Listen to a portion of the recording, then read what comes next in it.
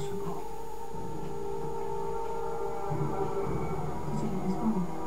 Maybe this is like 2963 or something. There's no mistake, this is 1963. How? What who could have done this? Something with the power to alter time. On a massive scale. Doctor, look.